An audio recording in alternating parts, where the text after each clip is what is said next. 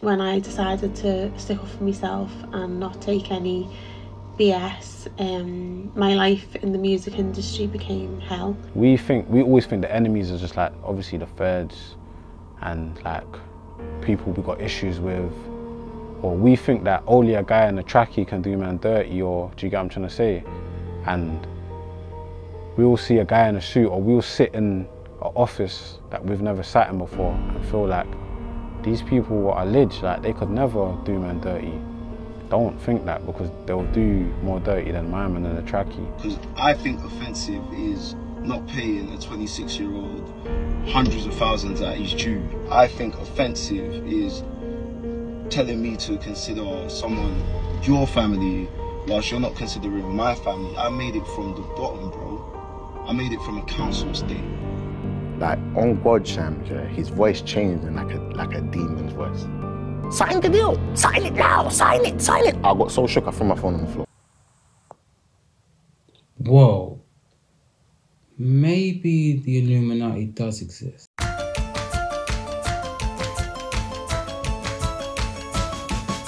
Okay, guys. So, in today's episode, I will be discussing UK music and, in particular, record labels and how they manipulate and actually get around the stereotypical evil label label.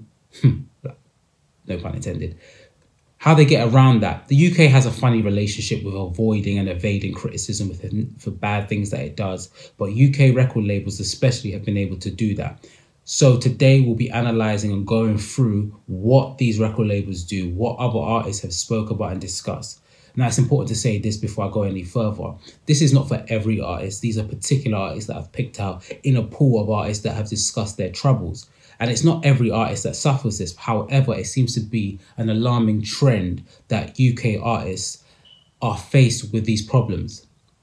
Now, for the large part and the majority of these artists will be UK rappers, but I will include some notable music female groups, and I also will include some other singers that have discussed these problems, as you can see from the montage at the beginning. Also, before we jump into the episode, guys, I just want to say this. It's really important to, in order to grow this channel for you to like, share, hit the subs- notification button as well. Subscribe, please.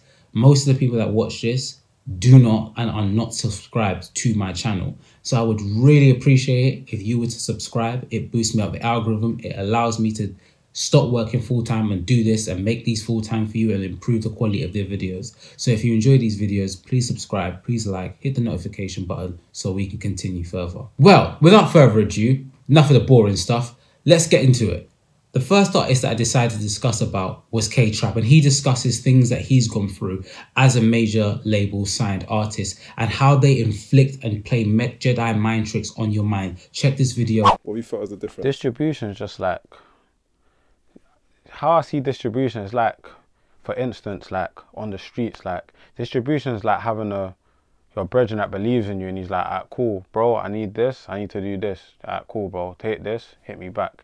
That's what it is. Man, do man's own thing. There's no pressure. It's all man. Like, do you get what I'm trying to say?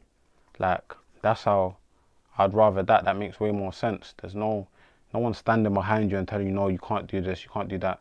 Do you get what I'm trying to say? Okay, so I think first and foremost, I'm going to get this out of the way. He's an independent artist. So, what is an independent artist and what is a major label signed artist? Now, an independent deal, a distribution deal, typically is where a distribution company, I'm not going to lie, a lot of record labels have got into that business as well. So they found a way to eat off the independent market.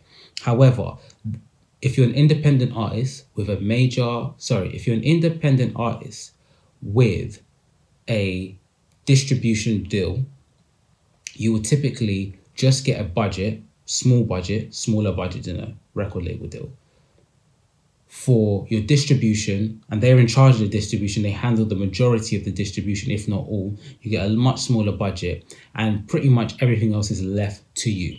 While with a record deal it's far more incorporative and far more intrusive. They give you an advance of a loan in which you get your music budget from. The budget is far superior to your distribution deal. It can vary as well. And also, the biggest difference is the percentage that you take. Now, typically, for artists if they're on a record label deal, they would take probably 10 to 20% of their royalties if they're lucky. if they're lucky. While with a distribution deal, it's much more the other way around, where you take about anywhere from 70 to 80 to 90% of your distribution of, of your profits and royalties. Now with record labels as well, it can be a bit more dicey as well, where you may only make X amount after your you recoup the budget and the loan that they give out to you. And why I call it a loan is that they call it an advance, they call it a budget, but you have to pay it back, and it often has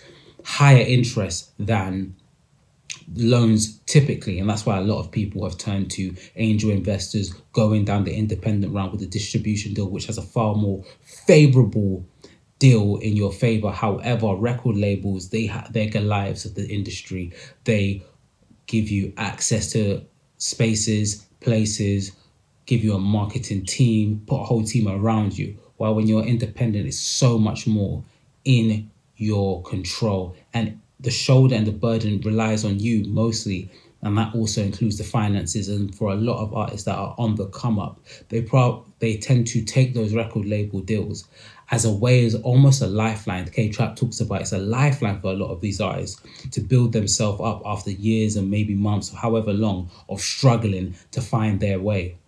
Now one thing about record labels that they do and it fools a lot of artists is that you would presume that they have great ideas, they're going to improve your creativity. Well, you can tell from K Trap's comments.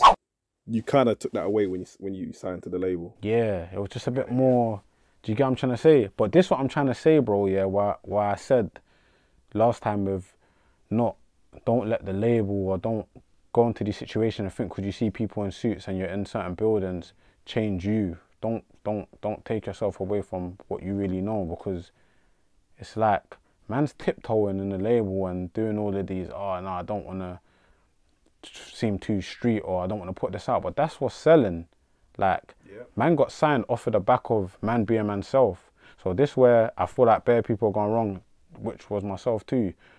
Think about why people want to sign you in it. Man's getting signed off of being manself, and then man's gonna go and change into somebody else, and then it's not gonna go right, and everyone's like, "What's going on?" Because man's not being manself. Man's taking away that raw approach that man has, bro. Do you get me?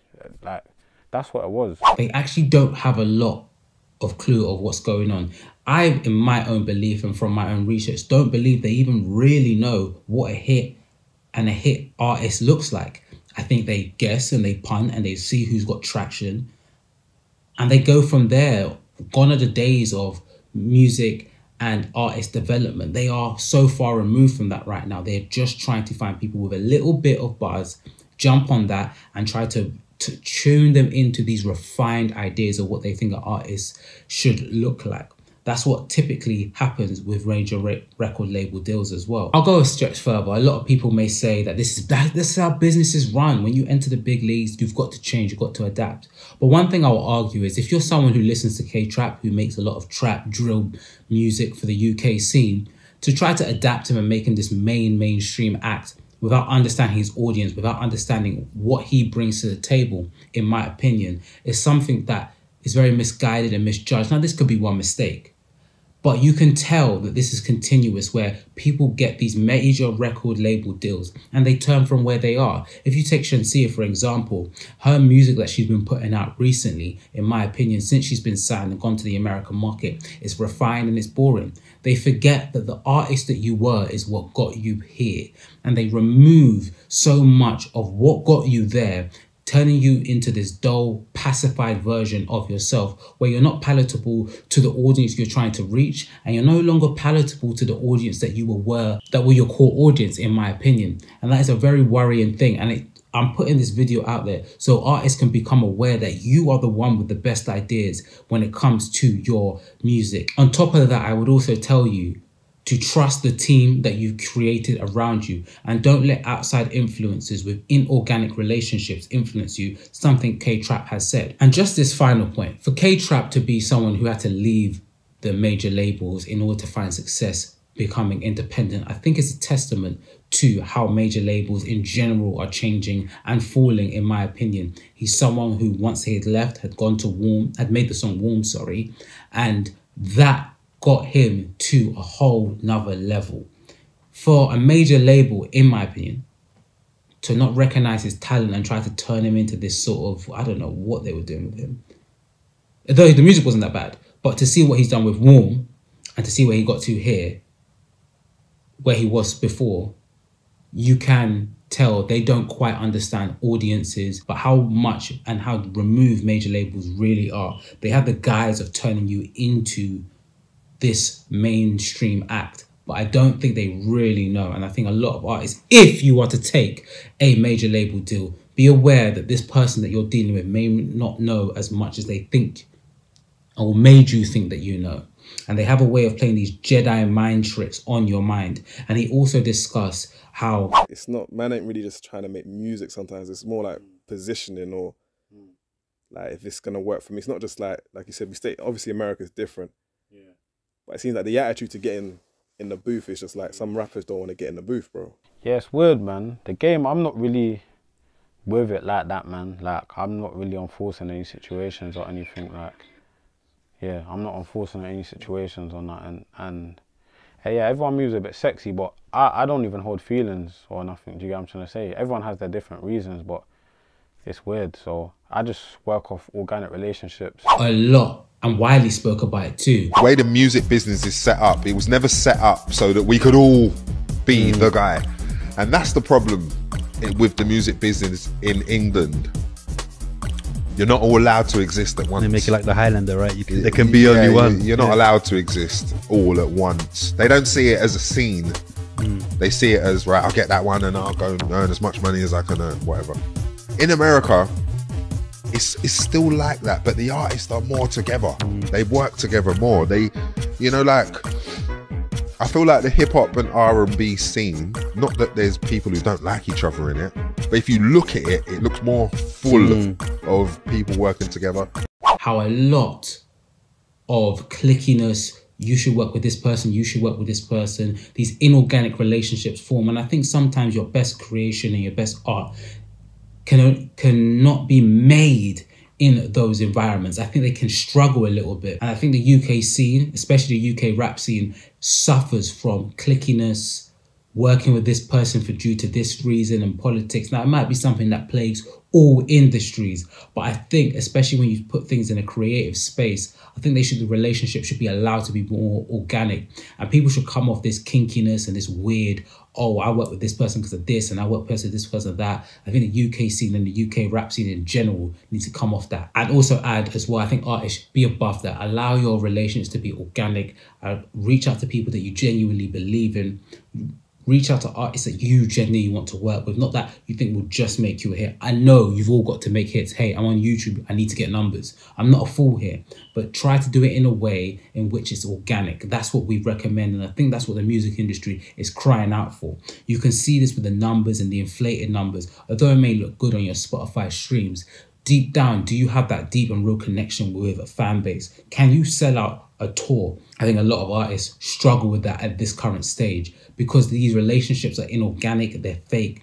And for the most part, people can see through it. They might bang the song, but will they go out of their way to listen to it live? I'm not so sure. And this is not something that is just K Trap's issue. You know, Blanco spoke about this in his interview. independent is obviously harder. I just feel like it's meant to be this way, man. Obviously, I did have a part to play in it, and at the same time,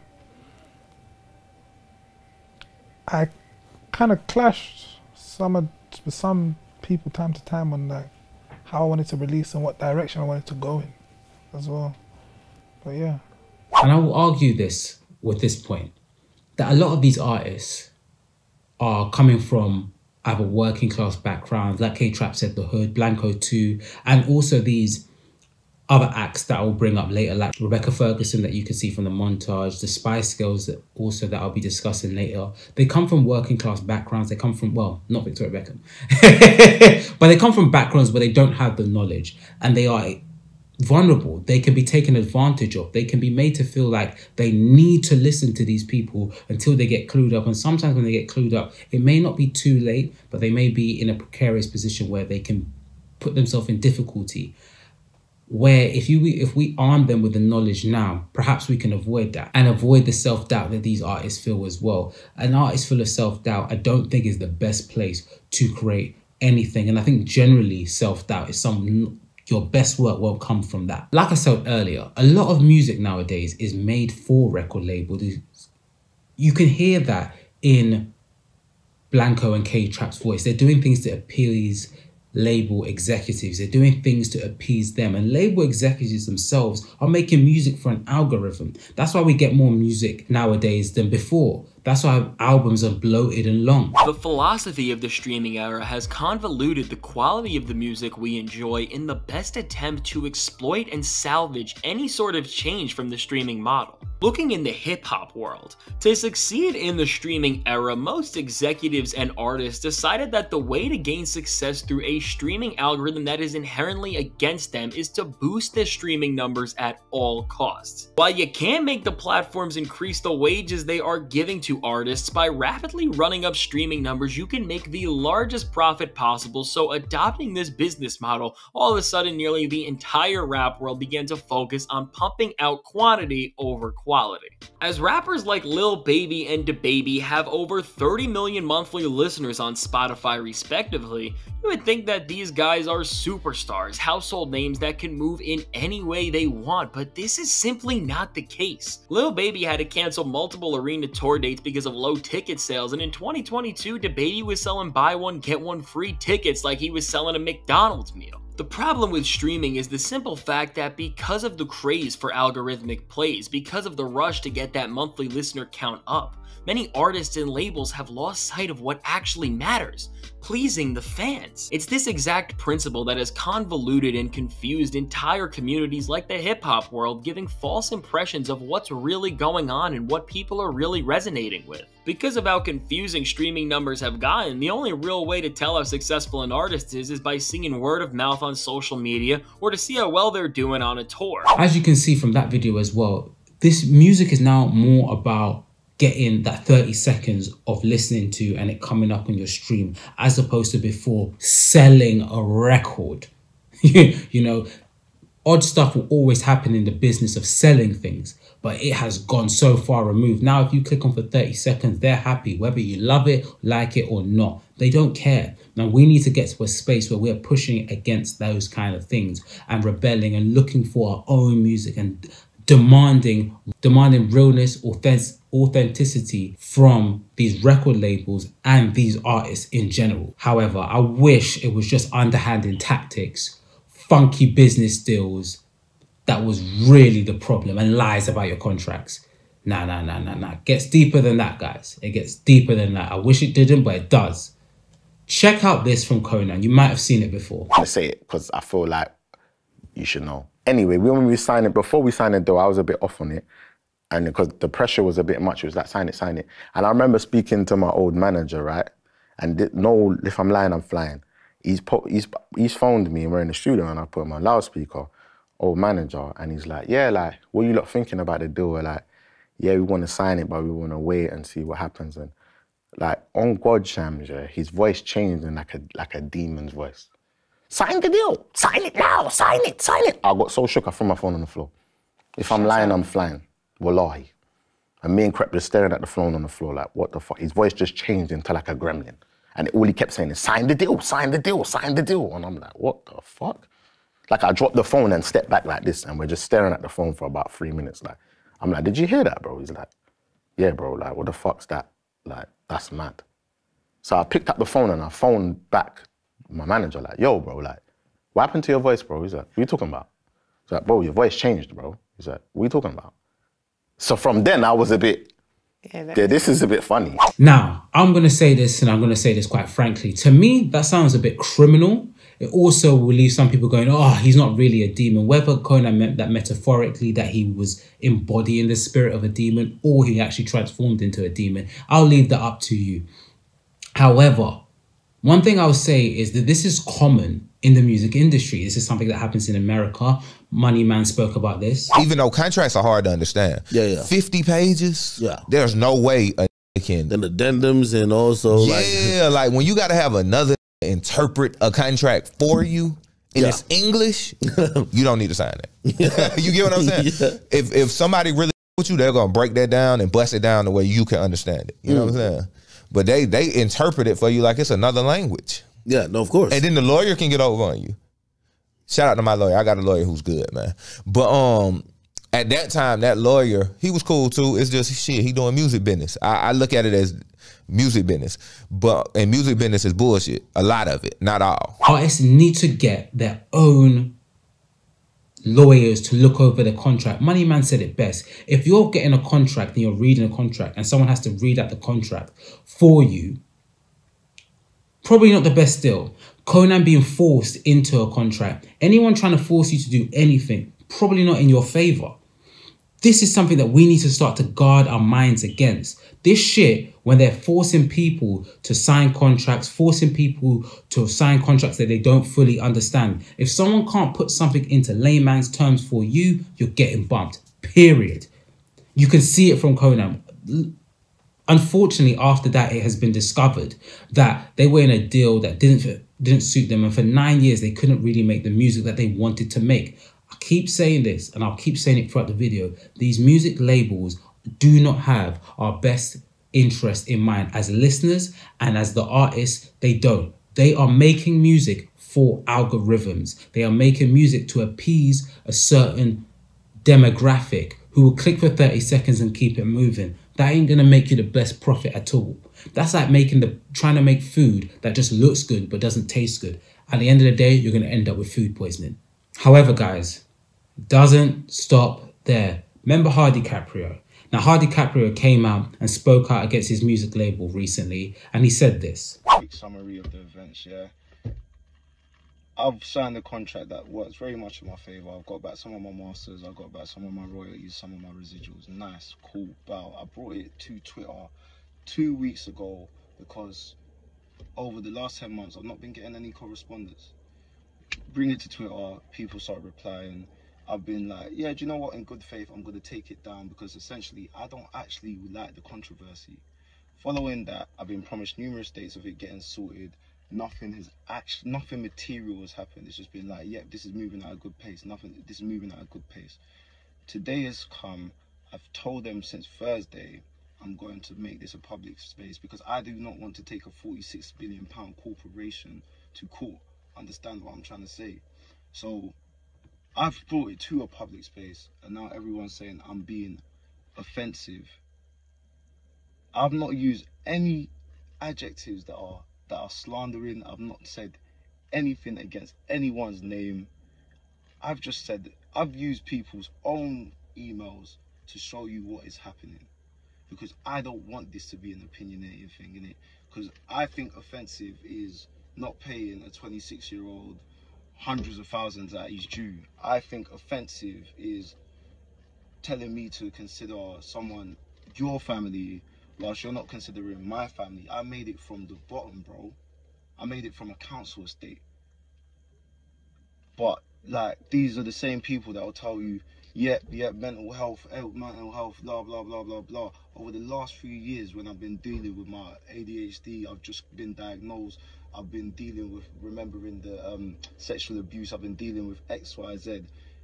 I've had numerous breaches of contracts. I've had other artists royalties coming out of my account. Lewis Capaldi, Florence the Machine, The Slaves, Vamps.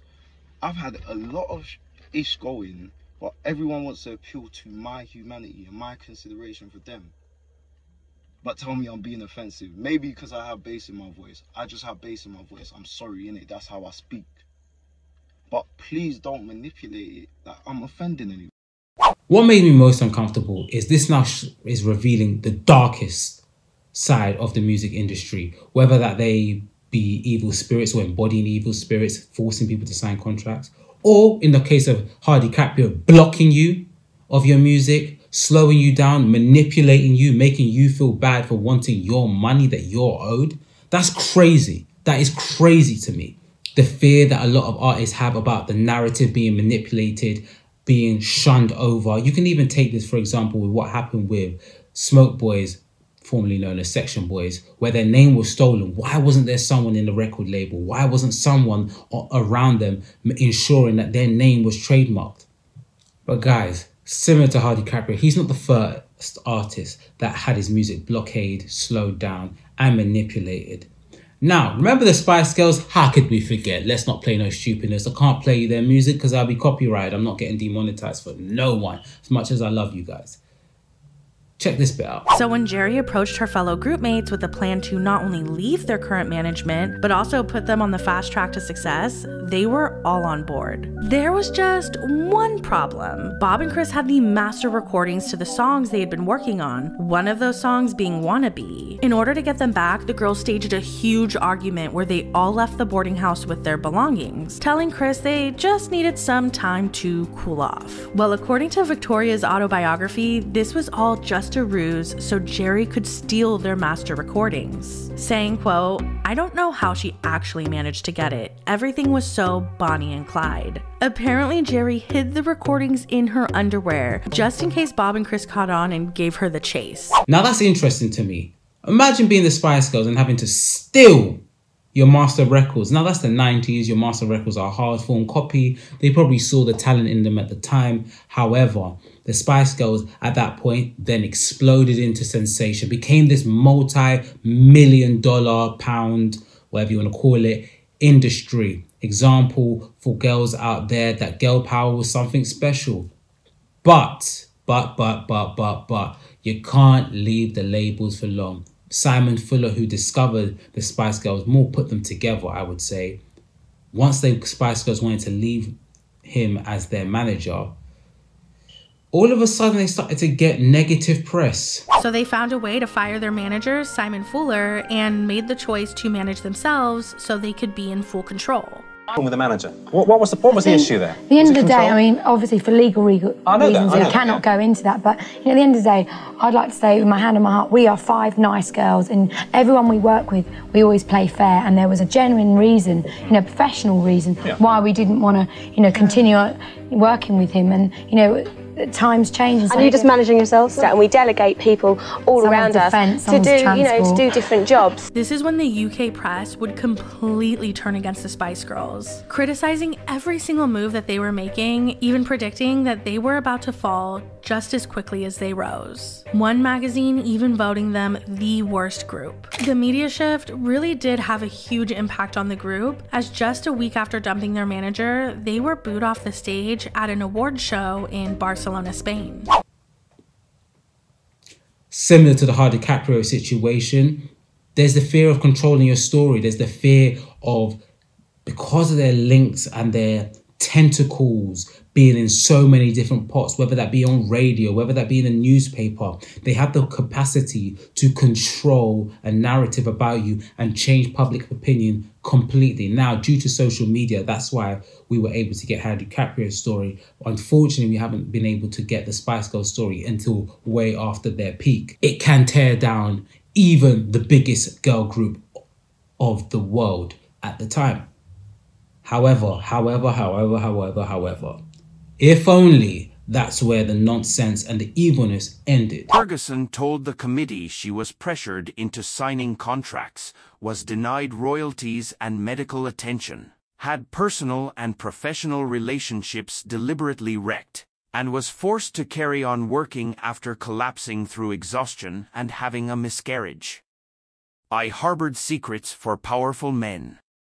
She also claimed a senior mogul threatened and blackmailed her former manager and on one occasion forced his way into my home and refused to leave until she called the police. Now, Rebecca Ferguson is someone who has discussed the abuse that goes on in the music industry for years. She has said that it's somewhere not safe for children. I dare I say, not safe for anyone vulnerable. As you can see, anyone that is not armed with the knowledge is getting taken advantage of, manipulated, tricked. And you may say this is just the course of business. But in the case of Rebecca Ferguson, you can see that there's real abuse that's going on here.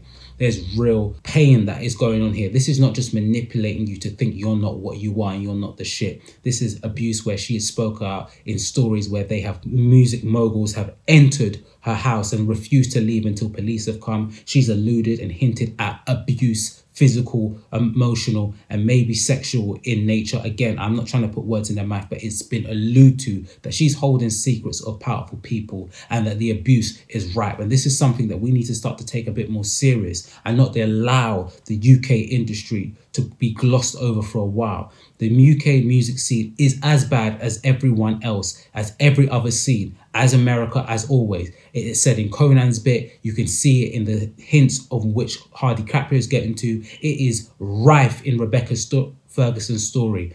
And it is, trust me, there's multiple, multiple artists. Just for the purposes of length, I didn't want to go on for too long. But I don't want us to be in a space in which we are now allowing these record labels to get away with this. Now, I want to say this now if there's any artists that are listening to this. I'm not trying to deter you from entering music deals, not being, not allowing yourself to sign a record deal. I'm just trying to say, like Wiley said, arm yourself with the knowledge, arm yourself with the tactics in which and in which you are going to deal with these art, these groups. Remember, their best interest is not yours. It is just to make money for the record label. If you don't feel quite ready, don't be afraid to go for a distribution deal and be independent for a while. Think of the long game. Again, if you're someone who wants to super duper blow, you will need a record deal because they unfortunately they still have major influences in marketing and pushing you forward. However, be aware of what you're saying.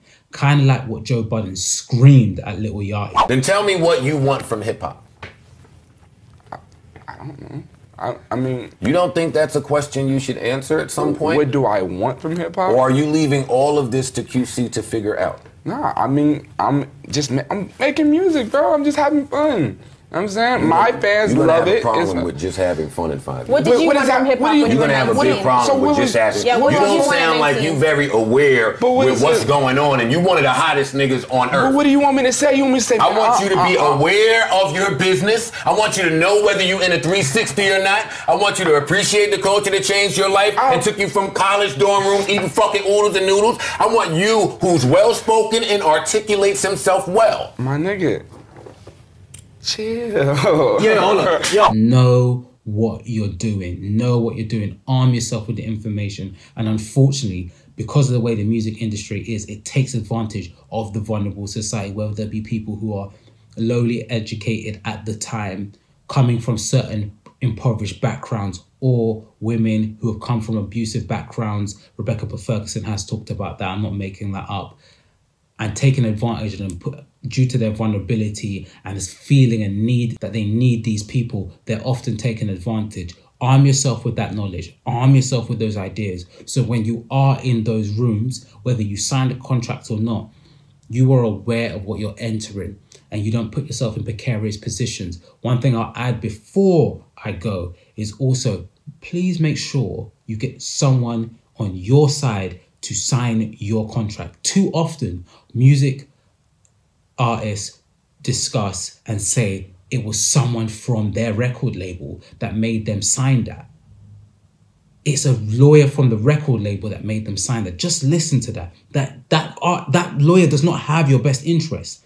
Please ensure that you get someone on your side you hire to sign. Sometimes it may be difficult financially to find someone, but there's things like ChatGPT. There's things where they can read it off to you and you can then say, Can you put this into layman's term? Let's think outside the box, not allow ourselves to be manipulated by these corporations and in general corporations manipulating us. Hey guys, this has been a longer episode than I planned it to be. Thank you for listening. I really enjoyed having you lot today. I enjoyed this one as well. I hope it was as comprehensive as up some of my others, and I hope you picked up something from it. If you enjoyed it, like, share, and subscribe. Like I said earlier, leave a comment if there's any feedback you want to give me. I love having you guys here. Peace out. Me too, because artists are raped. You've heard that term before. I'm Mhm. not. This is not like I'm. This is not like a new thing that I'm making up. the The contracts are made to rape the artist.